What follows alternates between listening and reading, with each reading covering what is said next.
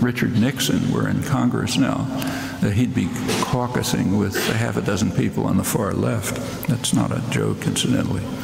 Uh, well, while wealth and power have uh, narrowly concentrated uh, uh, for most people in the country, the real incomes have stagnated, and they've been getting by with uh, increased work hours, by now far higher than Europe, even Japan, uh, debt, which can only go on for so long, and asset inflation, like the the bubble, the housing bubble is the most recent case. And these uh, bubbles are repeatedly destroyed by the financial crisis, crises that began to occur uh, in the Reagan years uh, as the regulatory apparatus uh, was dismantled. Uh, the effect is that the country is being severely weakened. Well, none of this is problematic for the very wealthy, in particular for the financial institutions by now, their share of corporate profit rose to an astonishing 40% in 2007, right before the crash that they caused. And the major players uh, benefit from a uh, government insurance policy, which is called too big to fail. And as one commentator quipped, too big to jail. And they can get away with any crimes they like. Uh, they can. Uh, The result is that with the government insurance policy, they can make uh, and do make very risky transactions, uh, which mean rich rewards, uh, uh, while adhering to a, a, basic market principle that you ignore externalities. In a market system, make a transaction, you ignore the effect on others. What economists call externalities. In this case, the externality is systemic risk, the risk that if one of your transactions goes back bad, the whole system may collapse. Well, the system inevitably crashes. It's happened over and over again since the Reagan years, each time more serious than the last. But that's not a problem because they can run to the nanny state that they nurture and ask for a taxpayer bailout. And meanwhile, they clutch their copies of uh, Hayek and Milton Friedman and Ayn Rand in their hands. Uh, and that's been the regular process since the Reagan years. Uh, uh for, uh, it's uh, each crisis more extreme than the last. For the public, that is. Right now, real unemployment is at the levels of the Great Depression for much of the population, but the main architects of the crisis are bigger and richer than before. Uh, that's what happens when you control the state. Uh, Goldman Sachs, for example, the biggest criminal, uh, they've just quietly announced uh, $17.5 billion in compensation for last year for executives, with the CEO, Lloyd Blankfein, receiving a $12.5 million bonus, and his base salary was tripled uh, in appreciation for having crashed the economy. And much the same is true among, his, um, among its colleagues. England is pretty much the same. Well, these developments contribute to American decline but not as often argued to the shift of global, global uh, power to China and India.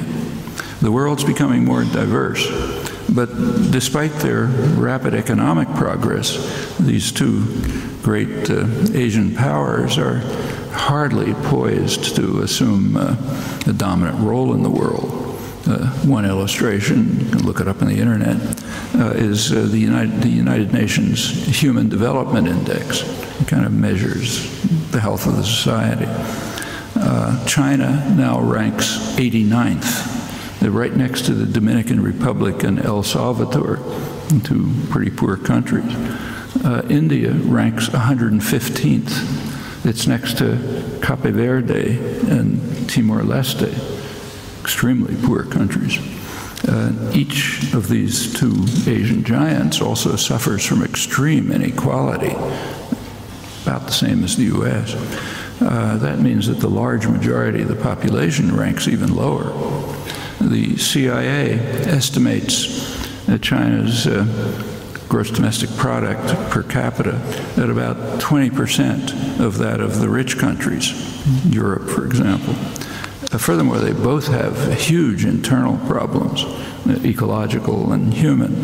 Uh, India is torn apart by major internal wars, uh, China by severe repression and very wide labor unrest, uh, tens of thousands of labor actions every year, according to official figures.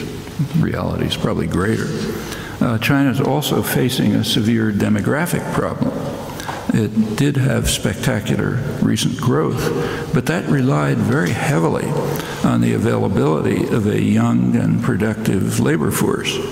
That's a non repeatable historical phenomenon. China scholar uh, Wang Feng observes that favorable democratic, uh, demographic dividend is expected very soon to disappear, and in fact to reverse sharply with significant effects on labor productivity and also on social life. Uh, in particular, ability to care for the growing elderly population. The social system that formerly existed has collapsed. Uh, also, there's an effect on the of the sex selection. There's a illegal, but there's a very definite sex selection policy. Uh, it has led to a vast excess of males over females uh, in the population under 20, and that could have extremely severe social effects. Uh, China is indeed a huge manufacturing center, but it's not like Germany. Uh, China is basically an assembly plant. It's an assembly plant for the advanced industrial societies surrounding it Japan, South Korea, uh, Taiwan.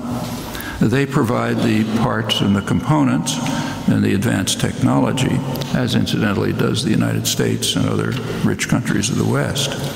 Uh, everyone talks about the U.S. trade deficit with China. But when it's properly calculated, as has been done by a couple of economists, uh, namely estimated in terms of value added, how much is produced literally produced in each country. Well, it turns out that the deficit with China declines by about 25%, and the deficit with its Asian suppliers increases by about 25%. Uh, so this is not the kind of export economy that Germany is, quite different. Uh, sooner or later, uh, China will presumably climb the technology ladder, but it's not going to be an easy path. There is, in fact, a very noticeable and significant global shift of power, but a different one. Not from the West to the Asian giants, but from the global workforce all around the world to the very rich. That's happening everywhere.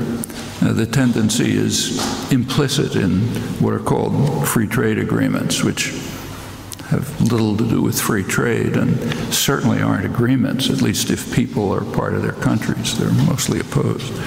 Uh, but what are called free trade agreements, uh, uh, um, uh, they're designed to set working people in competition with one another globally while protecting wealthy professionals and providing investors with extraordinary rights.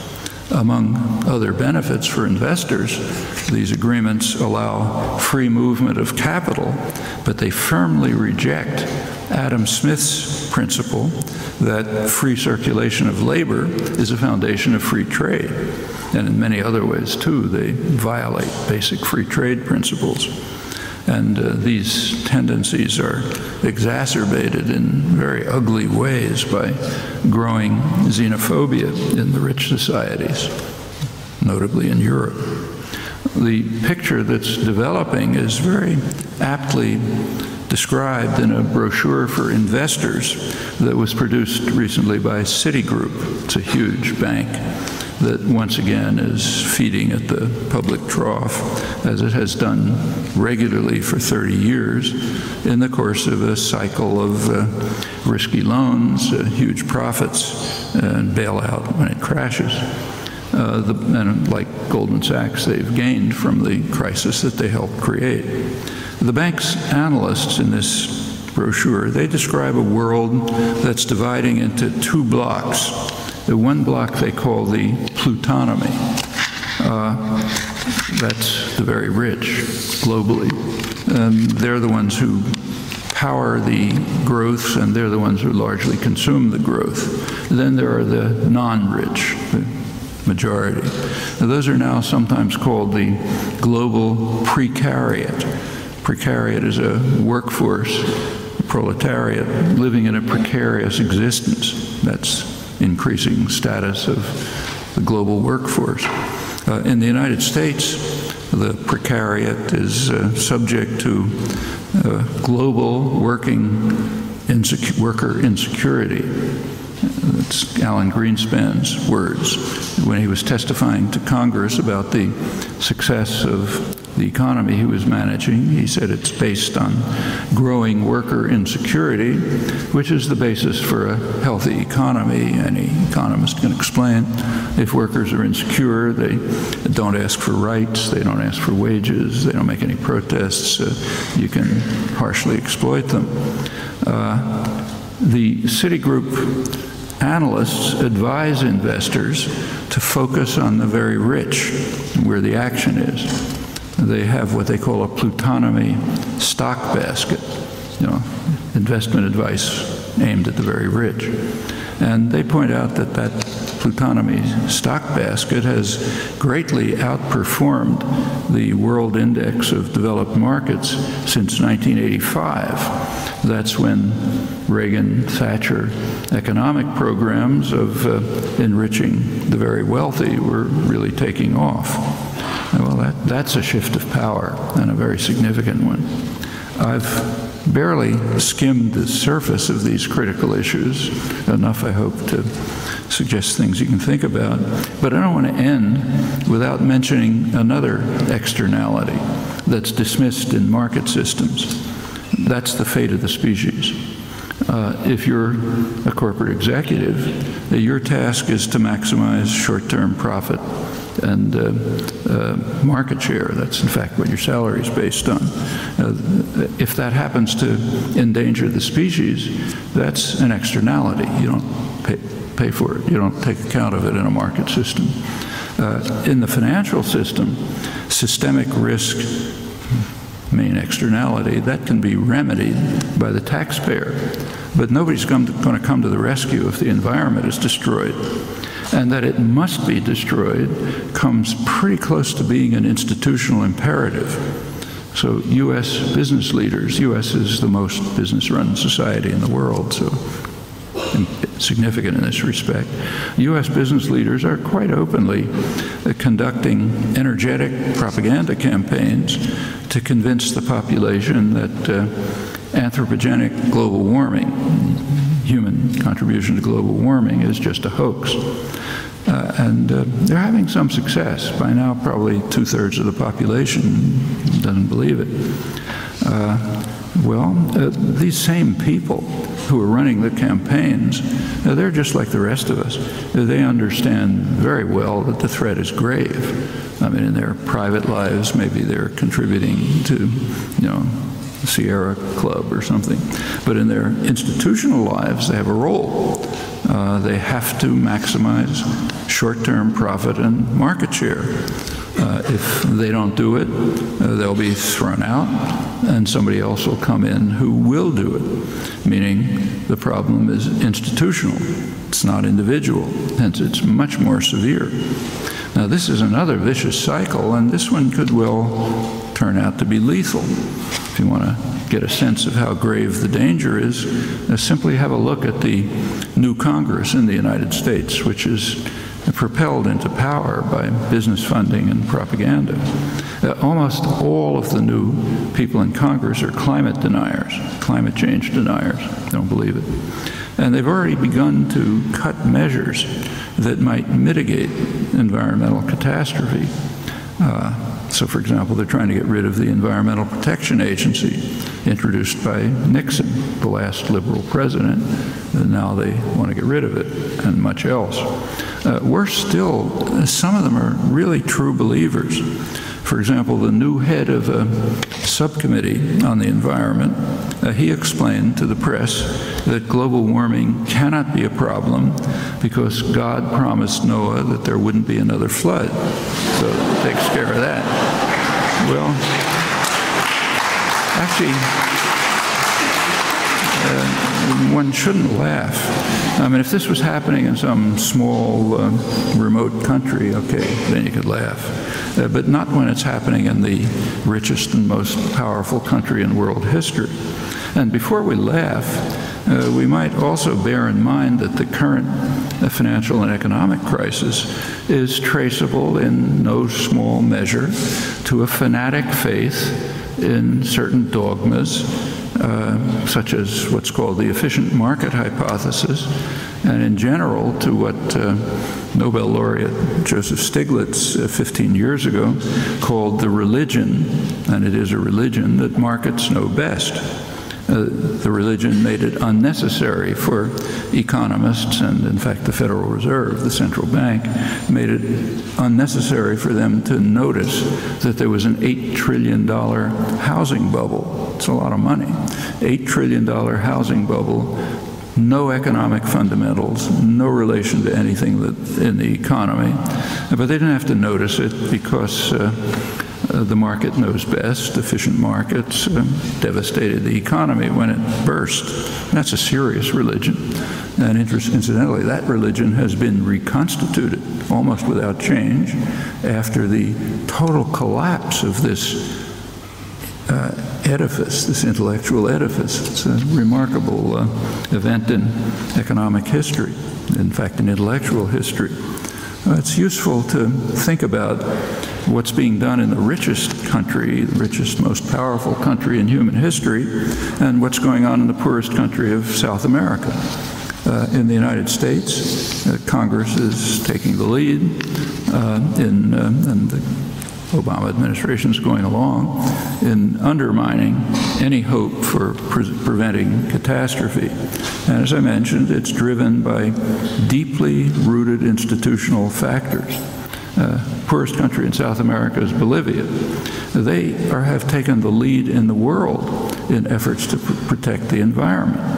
Their most recent effort is to pass legislation granting rights to the natural world. Well, sophisticated Westerners uh, ridicule such naivete, but unless we gain some of the sensibility of the indigenous majority in Bolivia, the last laugh's going to be on us. Well, all of this and a great deal more can proceed as long as the Muasher doctrine prevails, as long as the general population is passive, uh, apathetic, uh, diverted to consumerism, uh, hatred of the vulnerable. Uh, as long as that goes on, the powerful can do what they please. Masters of the universal have their will, and those who manage to survive uh, can contemplate the ruins. Thanks.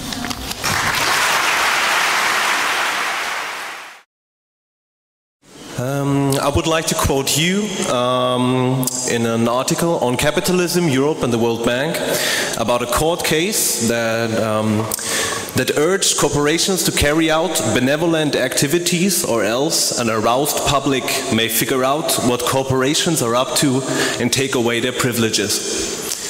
Now, given that um, how you on different occasions quoted John Dewey, government is the shadow cast by business over society, does court cases like Dodge versus Ford affect the behavior of politicians? does what? Uh, court cases like Dodge versus Ford. Yeah. Um, the behavior of politicians, and if yes, uh, which methods are at the disposal of small and regional operating initiatives to make politicians aware of the existence of an aroused public sex? Well, a business can't ignore it. I quote John Dewey, but I also quote Adam Smith, who said the same thing, uh, the, uh, and many others. Uh, a business can't ignore uh, what the population is doing. Actually, that's true of totalitarian states as well. Uh, so, for example, the Nazi leadership could not ignore public opinion. If you look back, they provided benefits to the public to try to keep them quiet. Uh, and the same is true in every totalitarian state. And certainly in more free and democratic societies, that's true. And you can see it happening. So let's go back to the Great Depression. Uh, the, there was President Roosevelt, who was unlike the current leadership he was fairly sympathetic to social democratic measures, but at one point he told labor leaders who were pressing for him to do various things, he basically told them, You make me do it. What he meant is get out in the streets, protest in the factories, carry out sit down strikes, uh, organize, uh, and if there's enough public pressure, I'll do it. Uh, but I've got to face down corporate power. Well, that's basically the right advice, and that's exactly what happened.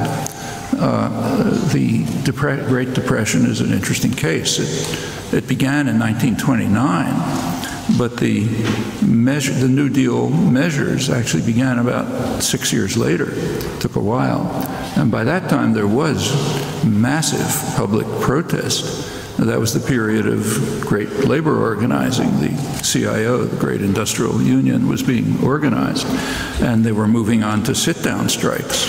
The sit down strikes are extremely frightening to the masters of mankind because a sit down strike is just one step before saying, We don't need the bosses, we'll run the place ourselves. Okay, at that point you get a major concerns. Actually, those are the concerns that uh, in the early post-war period uh, animated U.S. and British planners in places like Germany. They were concerned that that was going to happen under pressure, this pressure from the East that they were worried about. It's one of the reasons they wanted to wall off Western Germany and the same elsewhere. So these are constant concerns, and it runs from factories to protests in the streets. Uh, so, for example, uh, and it, it, has effects. Uh, during the 1960s, the next great, in the United States, the next major period of uh, sort of you know, social democratic activism on the part of the government, uh, that was clearly motivated by the uh, mostly youth at that time activism in uh, the you know, which you know about the radical activism of the 60s. And in fact, the business world was very upset about it. And the liberal intellectuals were very upset about it. If you haven't read it, there's an important book to read. It's called The Crisis of Democracy, uh, published by the Trilateral Commission in around mid 70s. The Trilateral Commission is liberal internationalists from Europe, the United States, and Japan, three major industrial countries, uh, to give a sense of their complexion. They're, they're the people who staffed the Carter administration. And that's kind of the liberal extreme. Uh, you go over to the right, it's much harsher. So, what was the crisis of democracy that they were concerned about?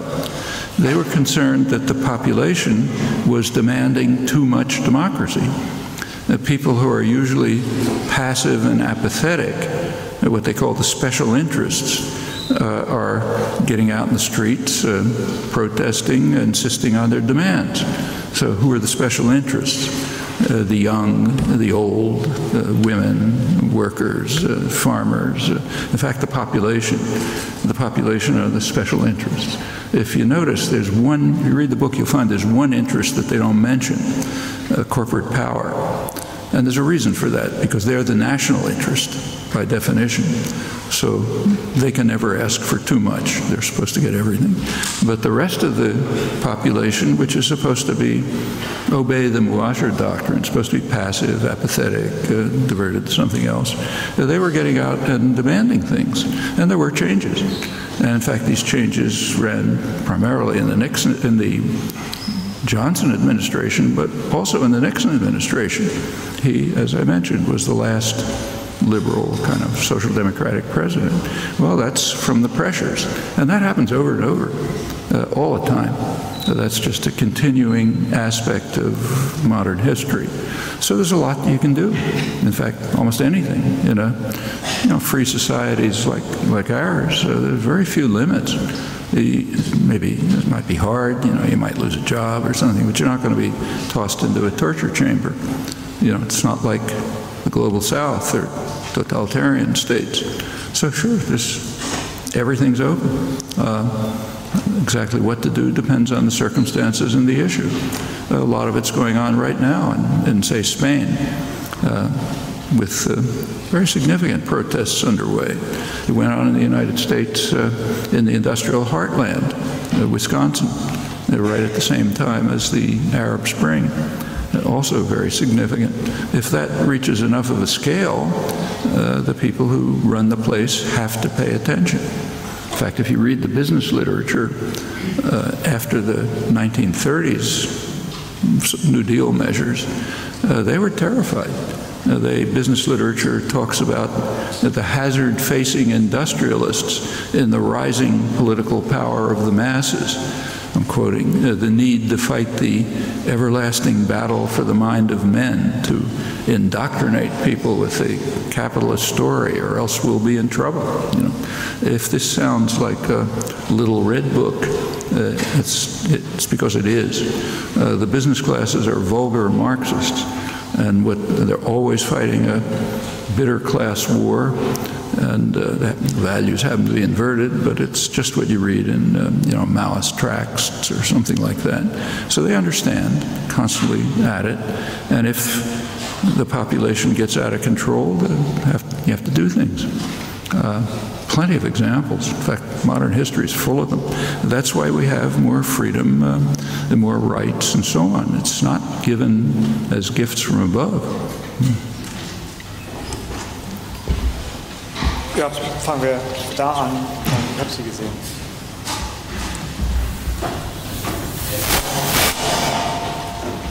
As I understood you, it's upon us as citizens to change the system. Uh, do you think the democracy as we have it at the moment is enough for that, or do we need forms of direct democracy or new forms of democracy? Mean, in, in, principle, we've got institutions that could work, but you have to make them work. It's like Roosevelt said make me do it. Uh, and uh, there are big barriers to democracy. So, for example, there's a fundamental contra contradiction between capitalism and democracy. You can't overcome that contradiction. Uh, so it's.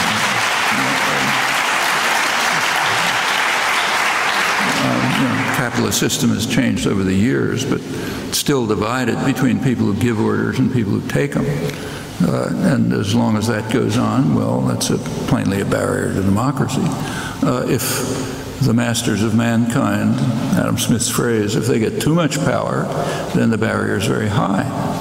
Uh, if they can be controlled, uh, then the barrier goes down. Incidentally, to quote John Dewey again, John Dewey was not a particular radical. He was the leading social philosopher in the United States in the late 20th century, 20th century throughout. Uh, his position was not only that what you quoted, that uh, democracy is the shadow cast by business over society. He also went on, he said this, he went on to say that this isn't going to change until you have democracy everywhere, meaning industrial democracy in the workplace, worker control of production, and popular control of every other institution. As long as you don't have that, uh, uh, policy will remain the shadow cast by concentrated power over society. So yeah, there should be, if you really want functioning democracy, it's got to go to institutional changes, significant ones. Hier vorne und dann, ich habe Sie danach gesehen. Erst hier vorne Sie und dann Sie hinten. Hello, my name is uh, Ulios from radio station Funkhaus Europa. Dear Mr. Chomsky, I have two questions. You were speaking about the Arab Spring. Uh, how do you analyze the uprisings now? Masses of people in Spain and especially now in Greece going on the streets rejecting the party system and uh, demanding direct democracy. And uh, you were referring to the nuclear ambitions of Iran. How can you do that without uh, mentioning the uh, slaughtering of people in Iran from the regime there? Uh, people who are struggling for freedom in the last years. In Iran? For democracy. In Iran? In Iran, yes. Yeah. Well, um, first of all, Spain and Greece. Um, quite important things are uh, quite important things are happening in Iran and Greece, but they're different. Uh, uh, you got to look at these things in their particular circumstances. So uh, in Greece, there's massive public protest against the austerity programs that are being imposed by the central authorities. And those are very destructive programs. I think for all of Europe, my own feeling, I think what you need at a time of recession is not austerity, you need stimulus.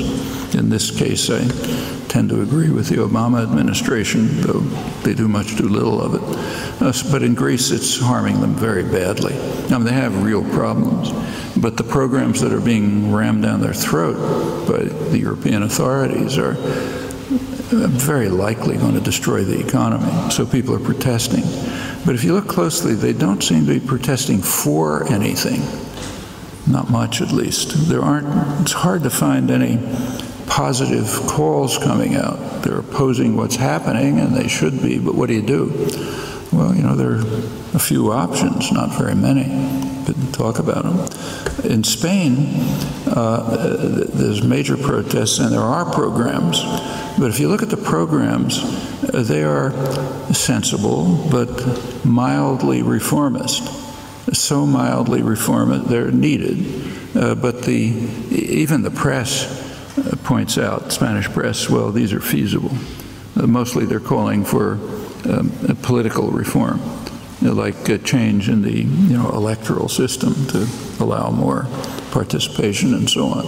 But those are things that could be instituted uh, without you know, the masters objecting much. Uh, so it's very important. May go on, may go on beyond that, but right now it's a, a significant call for limited but essential reform. That's Iran and Greece, roughly.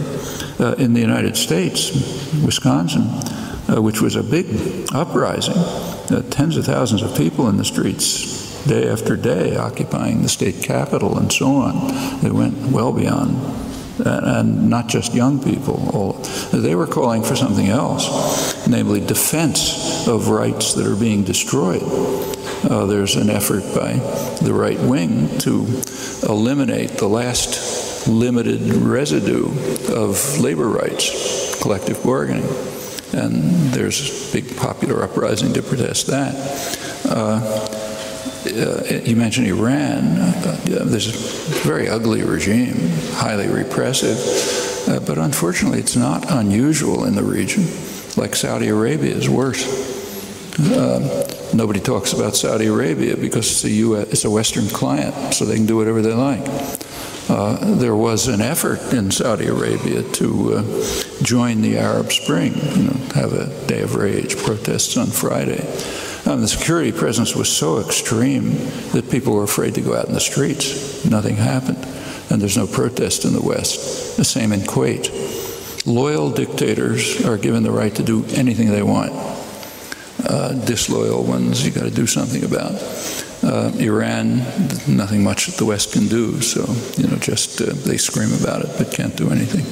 So, sure, we ought to talk about it. We ought to try to help the uh, protesters and try to protect them, but uh, the means are quite limited.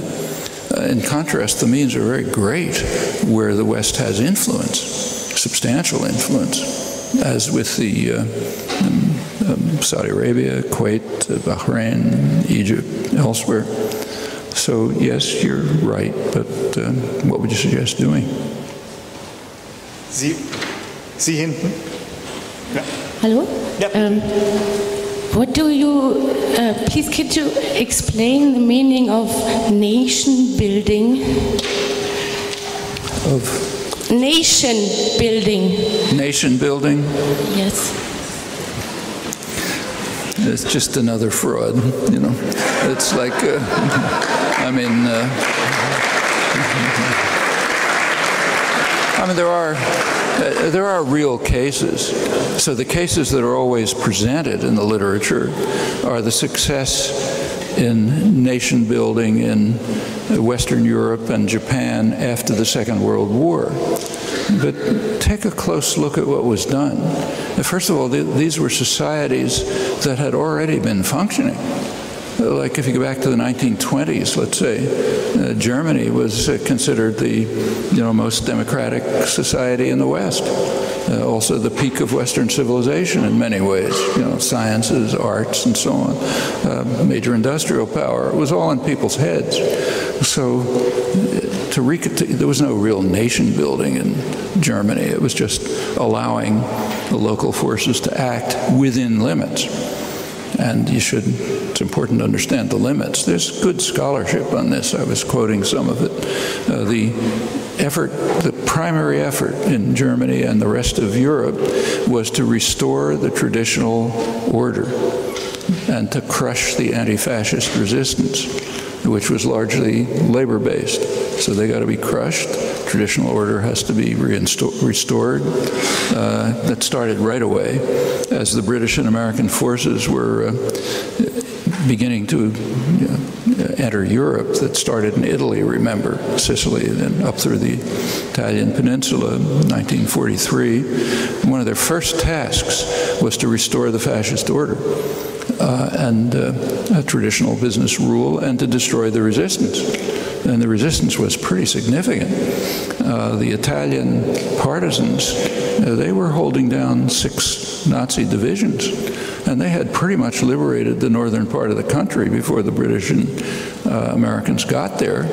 Uh, the British and Americans had to destroy the democratic system that had been developed by the left movements, left labor movements, and to restore the uh, traditional order. Uh, then, well, I won't go through the details, but subversion in Italy goes right on until at least the 1970s. It's when the record runs dry to try to prevent those forces from emerging.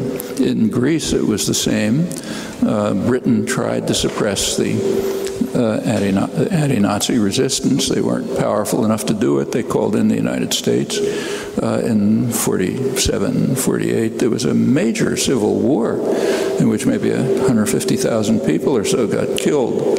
Uh, torture, terror, so on, essentially restoring the traditional uh, quasi-fascist order, driving out the partisan movement, the left, and so on. And it happened everywhere. Same in Japan, same in Korea.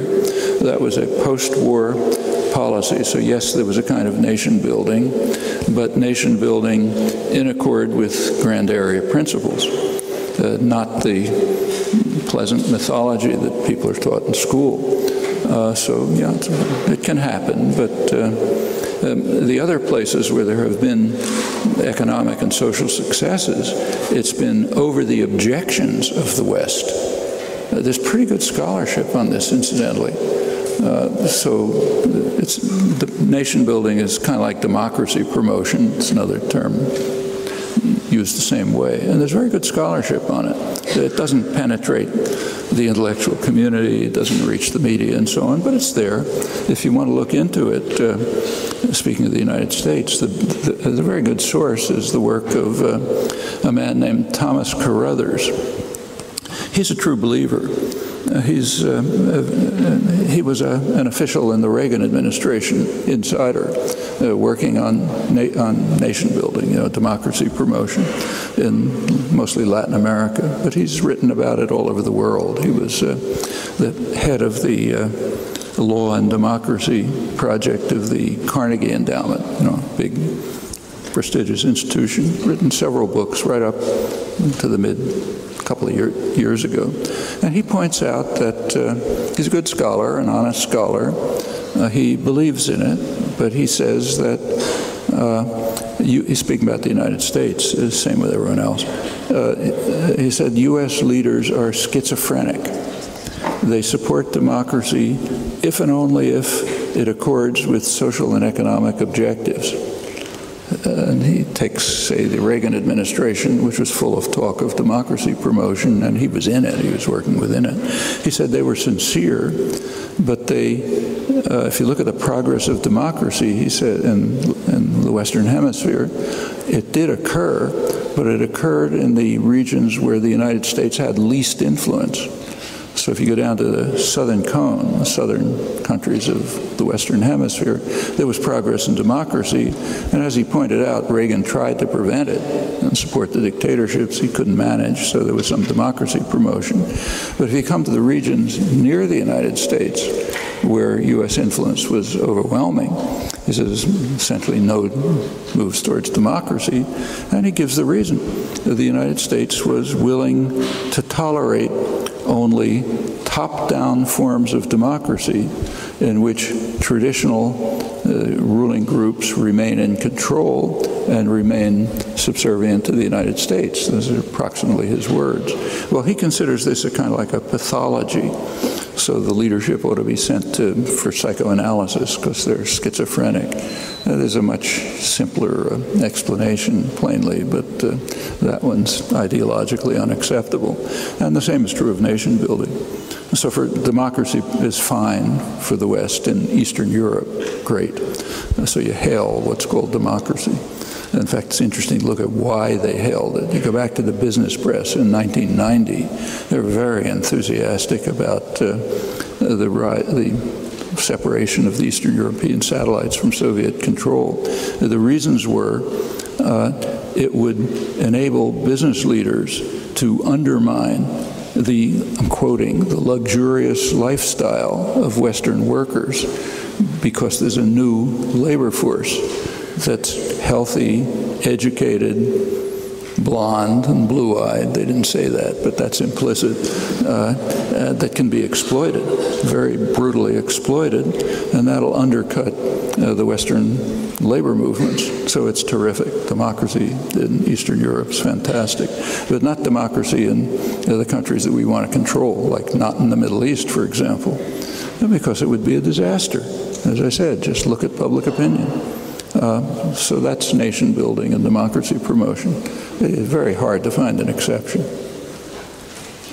Um, maybe there's space for one last short question because we have an invitation then to a dinner with the rector, and I think we have to. Yeah, uh, and uh, I think it's worthwhile. Yeah and um, um, yeah, who is who is who is here close to a, to, to a microphone? Um, no, no. Christoph, just give a microphone to somebody.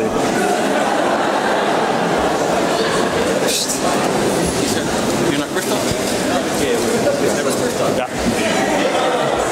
So,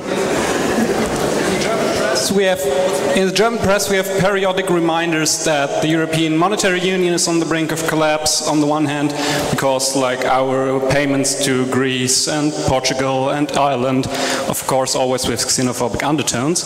Um, and on the other hand that the um, dollar is also very volatile. I'm not sure I'm really skeptic about what this these uh, announcements have for a function but do you believe that these currencies are really on the um, brink of collapse? And if that would happen, what effect would that have on the global order? I don't think that the, the euro and the dollar and the yen are not on the brink of collapse. Now, these are very rich societies you know, with all the problems they're having. Uh, historically speaking, it's pretty rich. That's not they're, they're suffering, but not the style of the South. There are problems. Uh, Europe is it is rich enough to bail out the countries that are in trouble, but it's not at all clear that that's the right approach. I mean, why should Europe follow the recommendations of the central bank that say the solution to uh, recession is austerity? Uh, that's been tried. I mean, that's Herbert Hoover in the United States. Yeah, his position was uh, we got a big depression, let's go to austerity. Well, you know what happened? Economy totally collapsed. And uh, there's pretty good reason to suspect that that will happen again. If austerity is just not the right response to unemployment, uh, the recession, uh, what's the right response is essentially uh, in a state capitalist system. There are more radical responses, but keeping to the institutions, uh, the right response is probably Keynes's response, which worked. Stimulate, there's a shortage of demand, demand stimulate it, and that's got to come from the government. It could lead to a, a, a deficit, debt, and so on, but that can be overcome with growth. That's the way to overcome it. Furthermore, the main problem all over the Western world is not uh, de debt, it's unemployment. Unemployment is an extremely severe problem. Uh, for one thing, it's very harmful to the people, you know, so just on human grounds, the people, the families, the communities, they're suffering.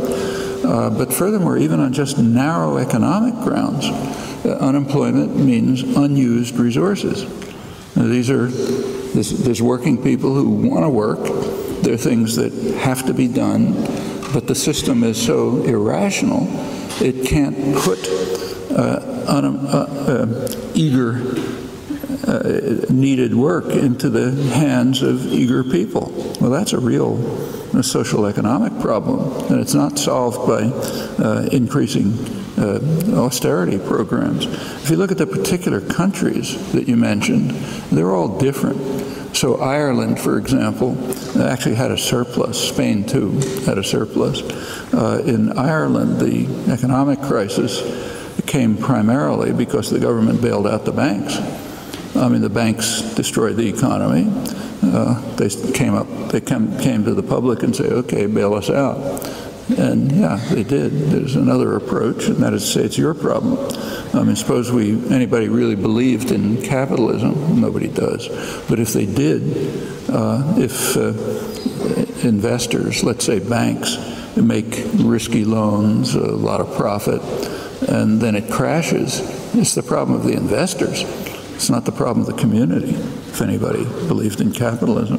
Uh, so that's uh, another approach they could have taken. Okay, you made the investments, you made the profits, uh, now it's your problem. Uh, you take the losses. Uh, but the masters of mankind don't take the losses. They expect the public to bail them out. That's pretty much what's happening in Spain. Uh, Greece is a somewhat different problem.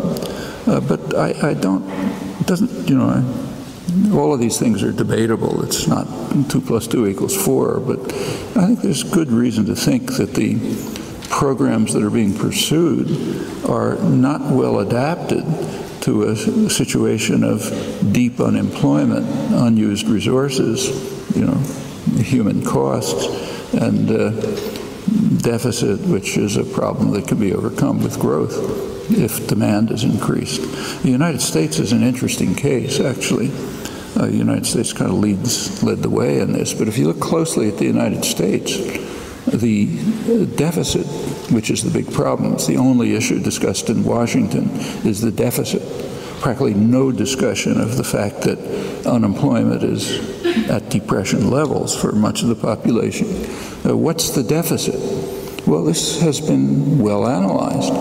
In the United States, about half the deficit comes from uh, military spending military spending in the United States is out of sight. You know, it's as, about as much as the rest of the world combined. It doesn't provide security. In fact, it provides insecurity, uh, but it's there for its own reasons, basically grand area reasons. In fact, I quoted Clinton as saying we have to keep uh, forces forward deployed in Europe and Asia in order to ensure that people do what we want. Okay, not for the American population. Uh, so that's roughly half the deficit. Uh, the other half the deficit comes from the completely dysfunctional healthcare system. Uh, the U.S. healthcare system is an international scandal. It's about twice the per capita cost of other industrial countries that has some of the worst outcomes. And the reason's not hard to discover. It's the only privatized, uh, unregulated system. And the private sector is extremely bad at providing public goods like health, highly inefficient, a lot of administrative costs, uh, uh, profits, uh, bureaucracy, um, all kinds of things. Uh, so sure, it's extremely expensive. Uh, drugs in the United States cost about twice as much as comparable countries. And the reason, again, is very straightforward. In the United States, and I think it's the only country in the world, at least that I know of, the government is not permitted by law to negotiate drug prices. they can negotiate anything else, but not drug prices. So big surprise, drug prices are out of sight. You know, this is incidentally over the objections of about 85% of the population. Uh, there are ways to deal with this, which are not utopian. In fact, if the U.S. had the same kind of healthcare system as other industrial countries, you know, not utopian, there would be no deficit.